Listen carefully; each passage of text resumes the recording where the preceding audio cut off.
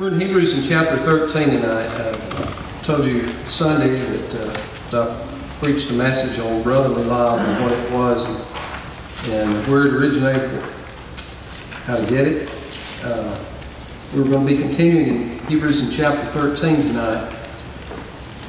Let me remind you that uh, the writer of Hebrews, most think was Paul, was addressing Jewish, primarily a Jewish congregation or a, a group, uh, perhaps in the Hebrew church, uh, that had come out of Judaism uh, through the grace of the Lord Jesus Christ because of their faith in Him, and they'd entered into the New Testament church. Uh, it appears, as you read through Hebrews, it appears that there were several things that they wanted to bring out of Judaism into Christianity. I mentioned Sunday, when the writer, as, as our Bibles are, are translated today, uh, when he, he penned these words in Hebrews chapter 13 verse 1, he assumed that that was something that they had already possessed because of their relationship to one another in Christ. And he, uh, if there was a schism within the church because of uh, sacrificial meats that had been eaten or because of certain Sabbaths or, or festivals that, had, that uh, either had or had not been celebrated, Paul or the writer of Hebrews is encouraging them, let brotherly love, let it abide, let it continue, let it overcome, let it lead, and let it guide. And uh, then he begins, he begins to lay out for this group of Hebrew believers just some, some very basic principles of Christian living. John MacArthur said this in regards to the last chapter of Hebrews. He said the last chapter of the epistle focuses on some of the essential practical ethics of Christian living. These ethics help portray the true gospel to the world, encourage others to believe in Christ, and bring glory to God. The whole purpose behind the church is to glorify the Lord. The whole purpose behind your salvation is to bring you into fellowship with God for the glory of Him. So, if we continue to let brotherly love continue, or if we keep on letting brotherly love continue, that applies to each and every believer that we come into contact with. That should be, it should take place not only by words, but also by actions. As he begins to unfold in the 13th chapter, he, it applies not only to those of the local church, but perhaps those brothers or sisters in Christ who have come together. He says in verse 2, Be not forgetful to entertain strangers, for thereby some have entertained angels unaware.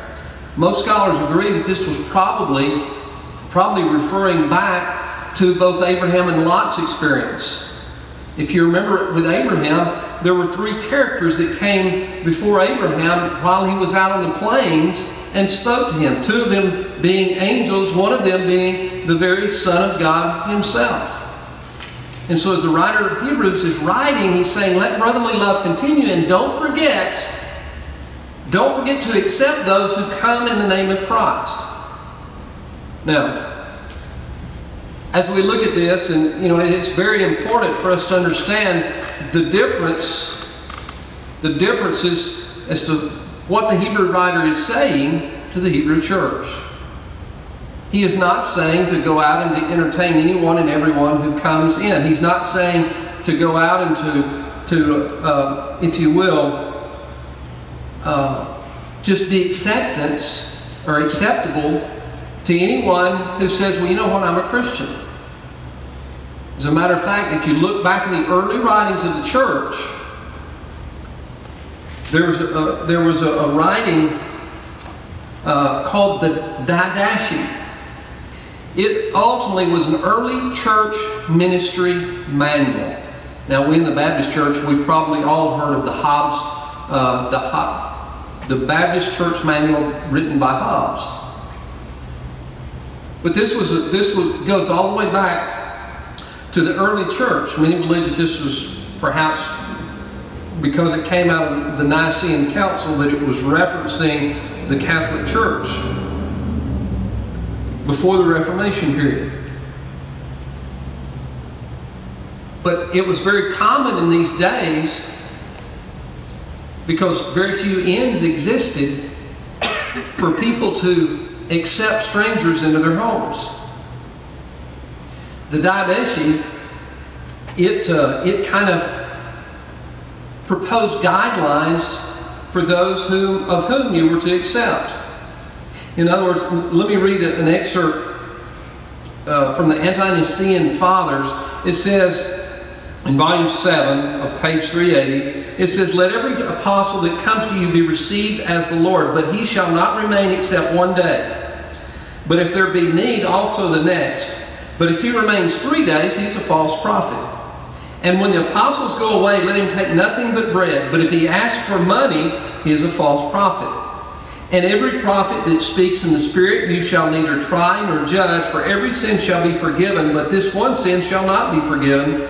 But not everyone that speaks in the Spirit is a prophet, but only if he holds the ways of the Lord. Therefore, from their way shall a false prophet and the true prophet be known. Ultimately, what he's saying is, or what this is saying, is that you look at people's fruit and you judge them by their fruit, whether or not they're a Christian or not, and to the point to which you are to exhibit or to display Christian hospitality to them. For instance, you couldn't go downtown uh, Fort Smith, or you couldn't go to some, uh, just any old institution or business along the way and go up to a perfect stranger and say, hey, why don't you come home with me tonight? Now, first of all, that's going to present, uh, that's going to be, present itself as a provocative question. Or you couldn't say to just anybody, well, why don't you stay at my house tonight?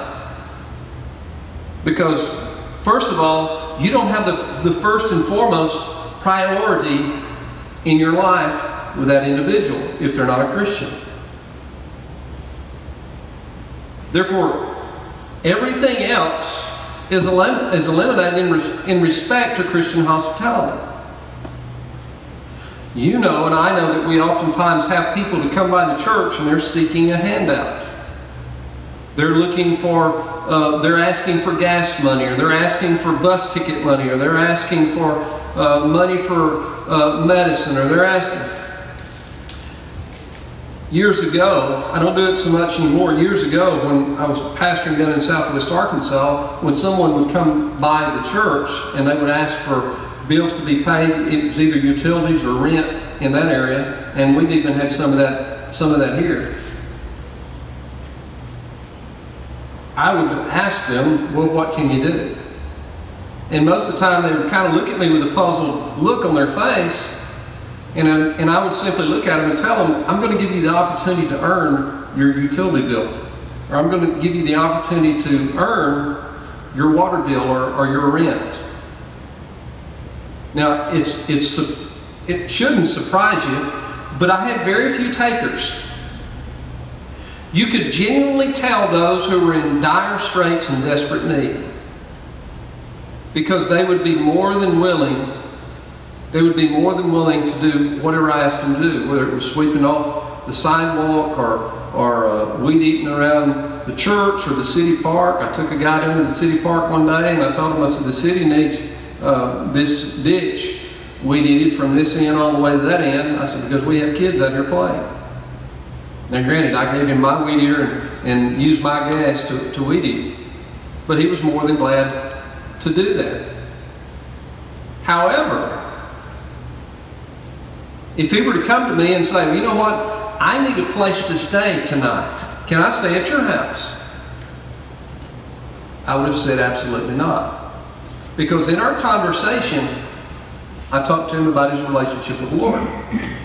Now the irony of it is, is that the guy that I took down to the city uh, park to weed eat the ditch from one end to the other, about a month later he was arrested for killing his wife. True story. True story. But what the writer is telling the Hebrew Christians is, is if a brother or sister is in dire straits or in need, you do the best that you can to provide for that, for that need at the moment. But don't allow even them to take advantage of it. And if they do take advantage of it, then they're not sent from God. They're not of God. And obviously, uh, as the Didache refers to, they're not a prophet. And perhaps they were speaking in reference to visiting prophets or clergy that went from town to town ministering from place to place to different groups of people. However, as the church, it is our biblical obligation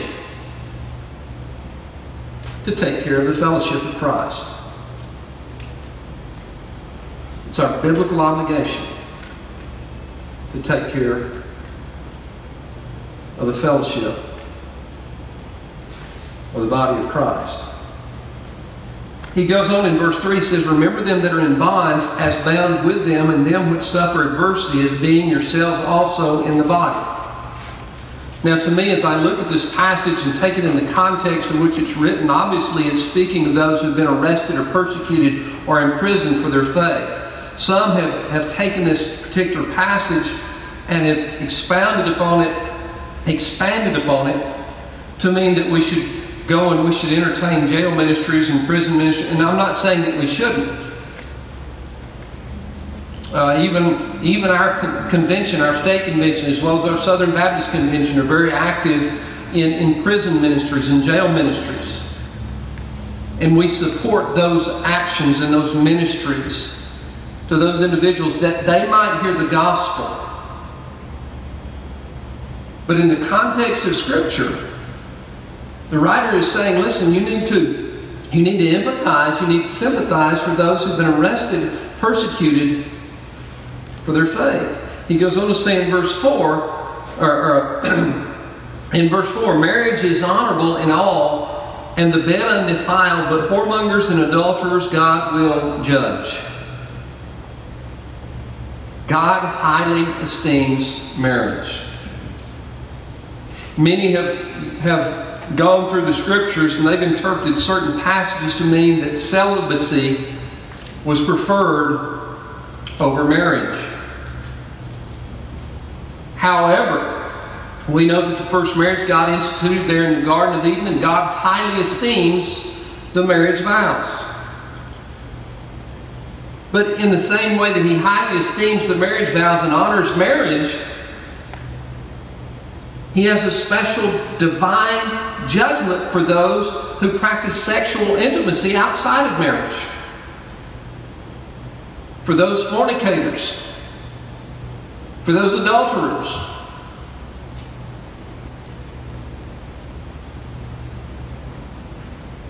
He says, let your, verse 5, let your conversation be without covetousness, and be content with such things as ye have, for he hath said, I will never leave thee nor forsake thee. So that we may boldly say in verse 6, The Lord is my helper, and I will not fear what man shall do unto me.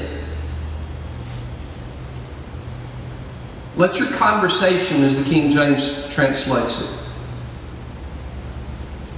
Some translations might say, let your life or your living.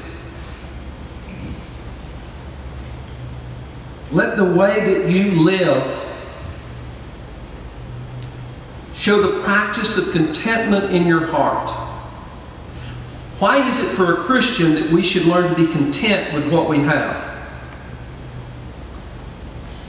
I mean, if you think about it today, I like what one writer said. He said, often covetousness and greed are excused or even admired in today's culture and simply called ambition. David Guzik says in his commentary, contentment has much more to do with what you are on the inside rather than what you have. The Apostle Paul had the right idea in Philippians where he writes this in chapter 4 and verses 11 through 13. He says, Not that I speak in regard to, to want, for I have learned that in whatsoever state I'm in, therewith to be content. I know both how to be abased and I know both how, how to abound.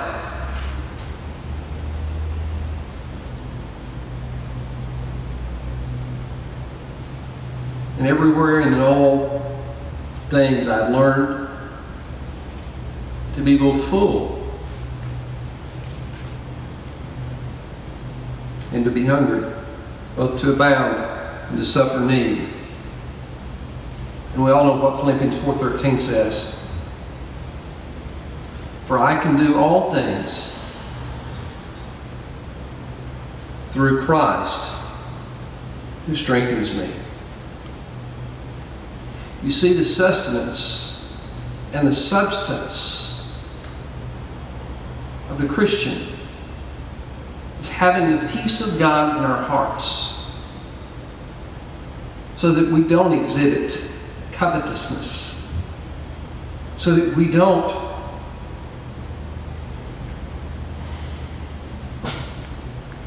practice greed or seek after those things where the thief breaks in and steals, or moth and rust cause it to decay. I'm not saying that there's not anything wrong with having things.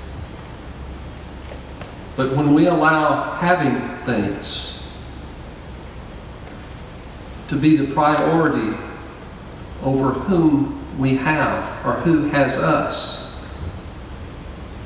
then we've passed from the peace that passes all understanding to the ambition that the world upholds and cheers.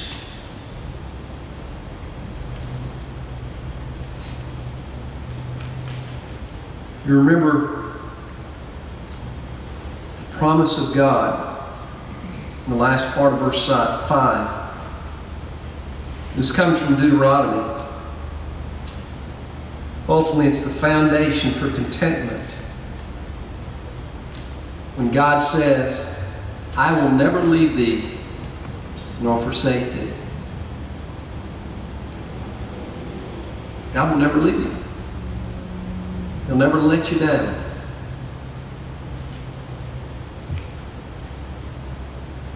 so that we may boldly say, The Lord is my helper, and I will not fear what man shall do unto me. And then he, the writer transitions. You see how he's laying out the foundational principles for, for everyday Christian living, our, our response uh, to the brotherhood, our response to the brotherhood who's in prison, our response to our spouse and our marriage, uh, our, our physical, sexual desires, our livelihood. He goes on to talk concerning the leadership. He says, Remember them which have the rule over you, who have spoken unto you the word of God. One translator or one commentator puts it this way that this verse in the Greek would rather be interpreted, remember those which have had the rule over you. Because these are those faithful, those faithful, godly men and women who have instigated in you, as Paul did young Timothy, to stir up that gift which was, is within you. As he told Timothy, it's those biblical leaders who have spurred you on to down the Christian path, encouraged you in the Christian race to reach that heavenly goal. He's saying, remember them, as the King James Version puts it. Ultimately, we could translate that word, remember, into another word, another English word, to recognize. To recognize. Each and every believer has a responsibility to recognize and follow godly leadership.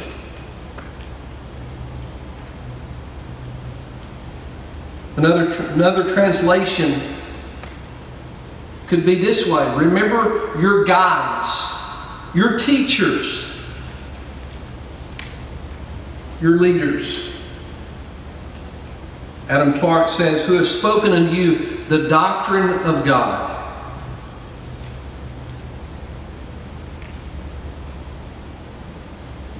Paul advised Timothy along the same lines. He said, in 1 Timothy in chapter 4 and verse 16, take heed to yourself and to the doctrine. Continue in them, for in so doing, this, you will save both yourself and those that hear you. That's not the King James translation. But it goes on to say, whose faith, last part of verse 7, follow considering the end of their conversation. Considering the end of their conversation, how they lived out their faith. You know, we've had, I know in particular myself, I've had many godly examples who have died and gone to be with the Lord, for whom I, for whom I am grateful that I may follow in their footsteps because they led by example, even to the day of their death. They led by example.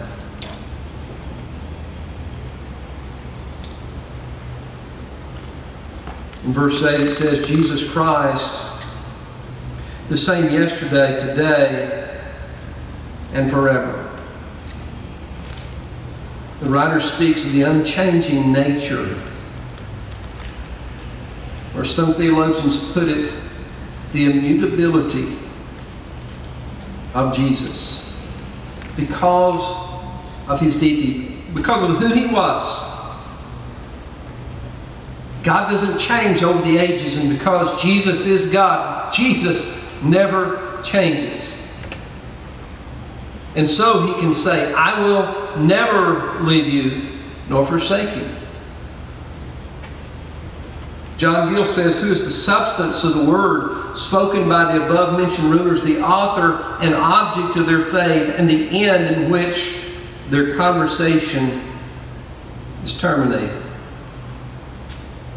In verse 9, he begins to warn, just as he's given instructions for godly and Christian living in verses 1 through 8.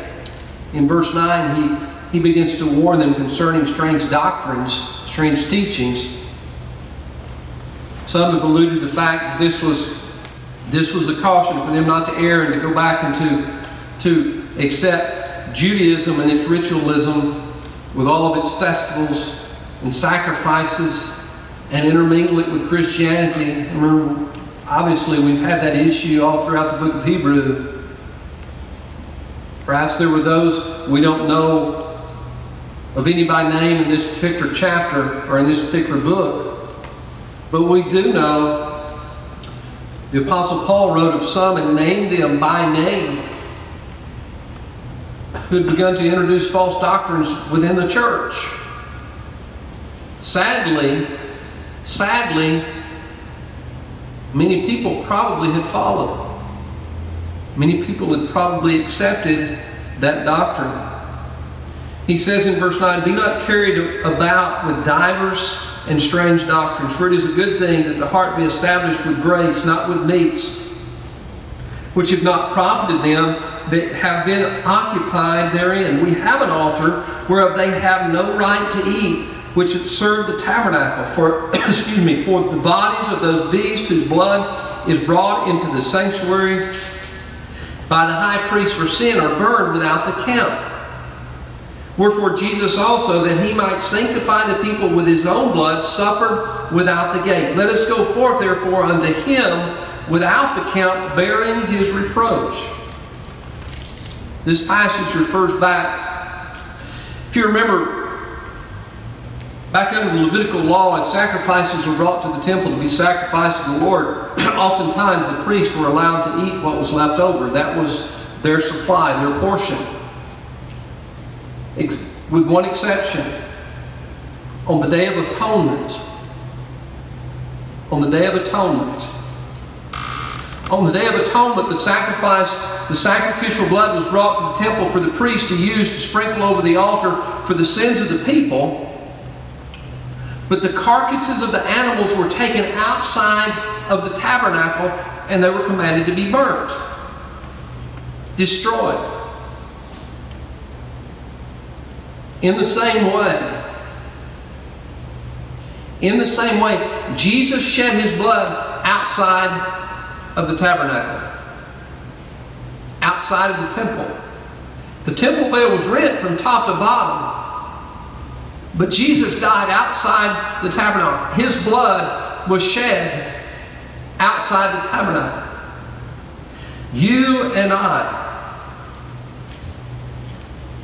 you and I are living in grace. And the writer is saying, listen, as Christians, to the Hebrews, as Christians, let us accept the sacrifice of Jesus because we've been saved by grace, for which your Judaistic brothers have no part, or of which they have no part. Don't waver to and fro with every wind of doctrine that blows through. Don't allow yourself to be influenced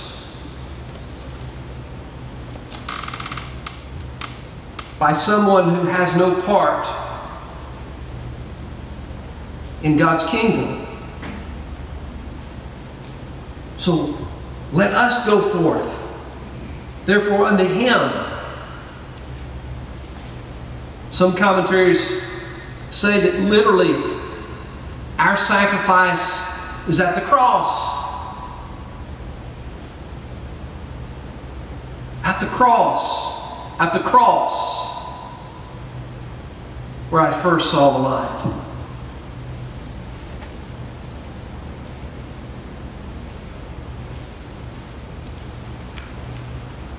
John MacArthur says those who are experiencing God's grace in Christ have hearts and minds that remain stable.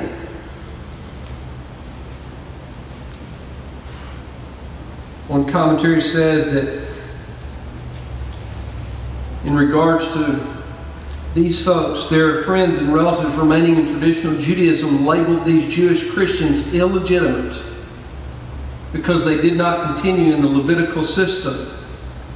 But the writer of Hebrews insisted that we have an altar, and it is an altar that those who cling to the Levitical system have no right to. Essentially, our altar is the cross. Our sacrifice is at the cross. Our sin is left at the cross.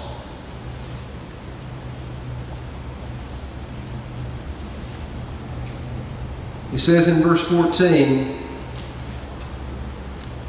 For here have we no continuing city, but we seek one to come. Here we have no city, but we seek one to come. Can anybody tell me the name of that city? We see it mentioned in the book of Revelation as the New Jerusalem, coming down out of heaven. It's the city where God's throne is and where God reigns. It's the city of which we belong because we don't belong here on this earth. It's the city where the Lamb's Book of Life is.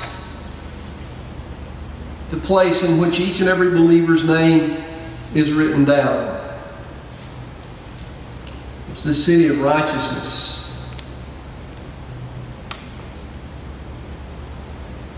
He goes on to say in verse 15, By him, therefore, let us offer the sacrifice of praise to God continually.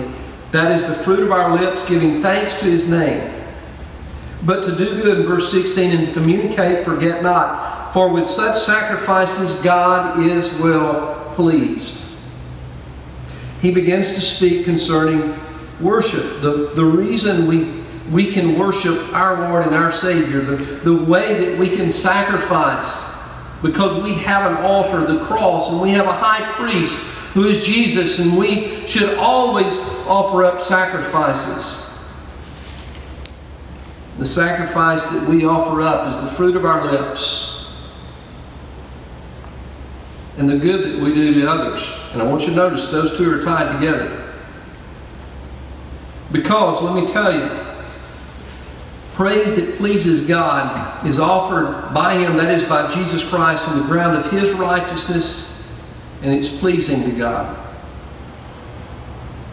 Praise that pleases God is offered continually so that we are always praising Him. Praise that pleases God is sacrificial praise.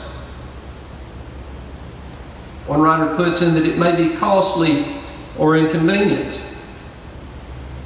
Praise that pleases God is the fruit of our lips more than just the thoughts directed towards God. It is spoken out unto the Lord either in prose or in song. Guthrie writes this in his commentary. He says, What proceeds from the lips is regarded as fruit, which reveals the character of its source, as the fruit of a tree reveals the nature of the tree. Maclaren says that loving hearts must speak. That loving hearts must speak. But just as we praise God with our lips, we also praise God when we do good to others. But to do good and to communicate, forget not, for with such sacrifices God is well pleased. We also please God when we, when we do good and we share. And the greatest thing we have to share. And the greatest good that we can do is to proclaim the gospel of the kingdom. Because that is well pleasing to God. As we begin to close out the chapter, and I don't know if I'm going to have time, I was going to let y'all out a little early. Anybody getting sleepy? You got just a few more minutes?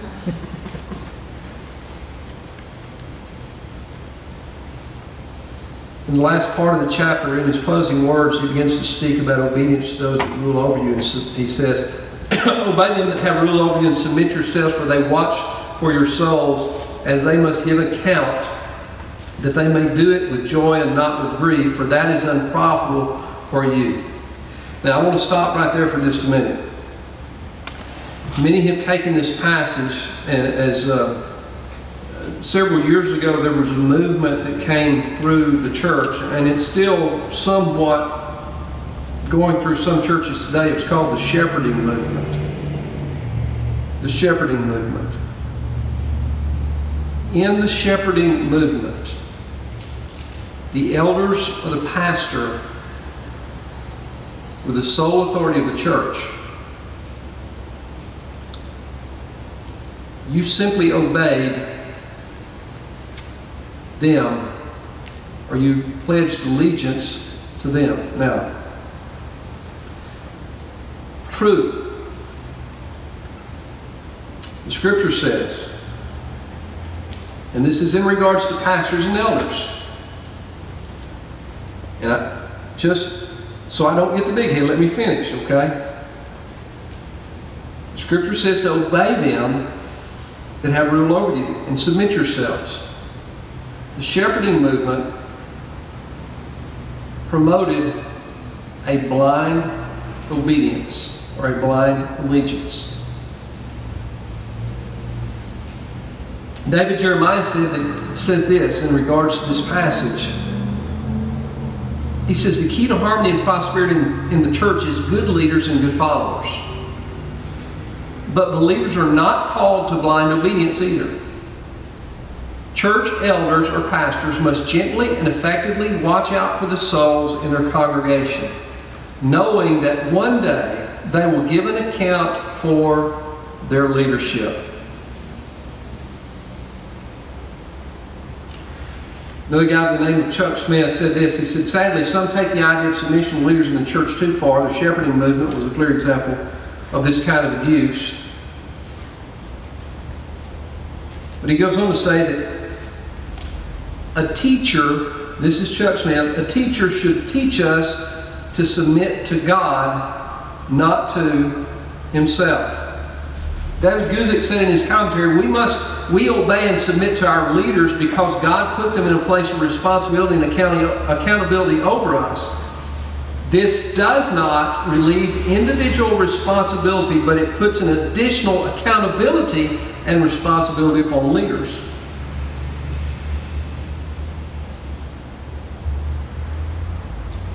In Baptist churches, in Baptist churches, obedience, and, and, I'm, like I said, I'm not going to get the big head. In Baptist churches, there's pastoral authority and bodily unity go hand in hand. That's why in Baptist churches, or in most Baptist churches, let me put it that way, we're democratically run. Granted, the pastor has certain responsibilities as he is the under shepherd of the church. And there is a certain amount of respect and obedience that should be allowed to the pastor if he's a godly man. But the church must, pay attention, in seeking a pastor to lead the church, the church must be certain of the men that they allow to follow them, or the men that they choose to follow. The men that they choose to follow. That's why, and in Baptist churches, this is not done enough. I know of some instances uh, within the past 10 years where churches have been greatly disrupted and divided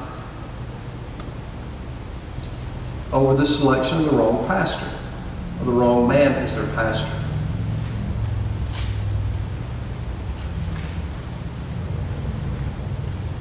On the other hand, pastors must be careful that they don't overstep the boundaries of pastoral authority. Do you know what the pastor's responsibility is in regards to you? Your spiritual well being. Your spiritual well being. It's not to lord it over you, it's not to whip you down the path, but to be the shepherd and to guide you.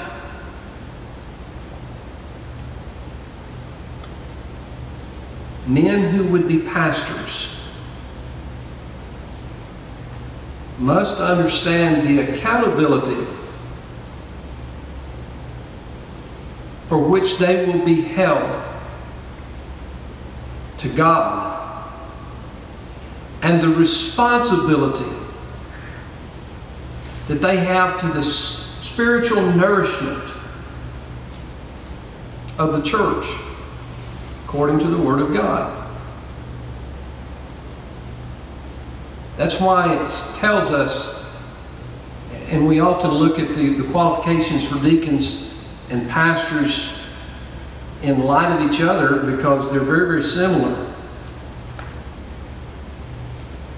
That's why it tells us not to lay hands on a man too quickly. Too quickly. The writer of Hebrews goes on to close out. He says, Pray for us, for we trust, for we trust we have a good conscience in all things, willing to live honestly, but I beseech you the rather to do this, that I may be restored to you the sooner. Now the God of peace, he begins to pronounce a blessing. He asks for their prayers. He begins to pronounce a blessing. He says, Now the God of peace that brought again the dead uh, from the dead, our Lord Jesus, that the, that great shepherd of the sheep, through the blood of the everlasting covenant, make you perfect in every good work to do his will, working in you that which is well pleasing in his sight through Jesus Christ, to whom be glory forever and ever. Amen. So we see a request for prayer, we see a blessing pronounced.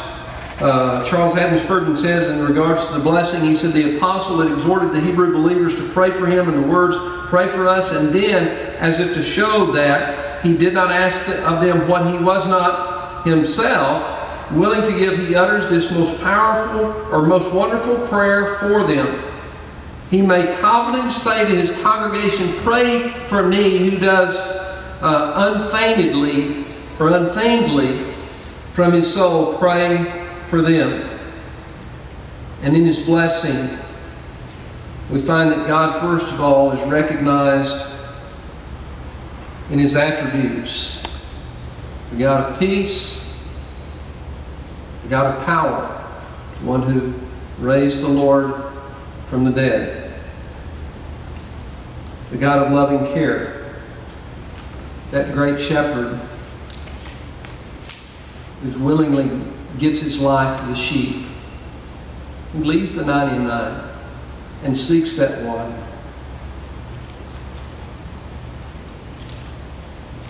The one of ever giving love.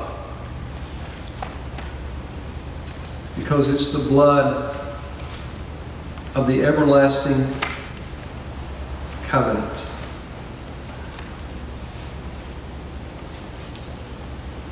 He closes, he says, I beseech you, brethren, suffer the word of exhortation, for I have written the letter unto you in few words. Know you that our brother Timothy is set at liberty, with whom, if he comes shortly, I will see you. Salute all them that have rule over you, and all the saints. They of Italy salute you. Grace be with you all. Amen. One of the things that leads us to believe that the book of Hebrews was written by the Apostle Paul is more particularly the closing. Some Bible scholars, as they read through Hebrews, they note little inserts in there that are Pauline in their likeness. But other discrepancies that say, well, you know, Paul didn't necessarily write after that manner. But as we look to the close of the book of Hebrews, we know that Paul was imprisoned in Rome, correct? This letter to the church, or to the Hebrew Christians, was, let, was written in Italy. He says that they of Italy salute you. It's a little picture that opens up into a large screen that allows us to see that there are not only Christians here, but there are Christians spread across a broad region at the time. And they, as a part of the body of Christ, are greeting each other, they're praying for each other, they're encouraging each other, they're exhorting one another, they're caring for one another. As a Christian, that's what we're called to do. Anyway, I'm going to stop there. We finished up the, the book of Hebrews. And look at there, we got one minute till eight, regular time. Anybody got any closing comments or announcements? Anything? We will have a regular worship service 10:30 Sunday morning, again as we did this last Sunday. Okay. Uh, Don and I are going to work tomorrow. We need to work on the FM transmitter. We had a little trouble last week, and I think I know what the problem was on that, Don. So uh, I think I, I, thought I thought of something it may be. Let me put it that way. Uh, but we'll have the FM transmitter set up. If you don't want to come in, you can stay in your cars out uh, out in the parking area. Possible chance of rain Sunday, so be sure and have your windows rolled up if you sit in your car. All right, let's stand together. We'll be dismissed in prayer. Our Father in heaven, Lord, we thank you for this day and for the opportunity to study your word. Lord, for the encouragement that we receive to, uh, Lord, continue in your grace, to live our life according to your example, to care for one another. Lord, to, to be cautious of the doctrine of grace and the salvation that comes through faith. Lord, we pray for these that are, have been mentioned tonight on this prayer list. We pray that the families of the lost loved ones would feel your touch, that those who are sick would experience your healing. But Lord, we pray also for the lost. They would hear your word. Let us be found faithful in your sight and pleasing in your will. In Jesus' name we pray. Amen.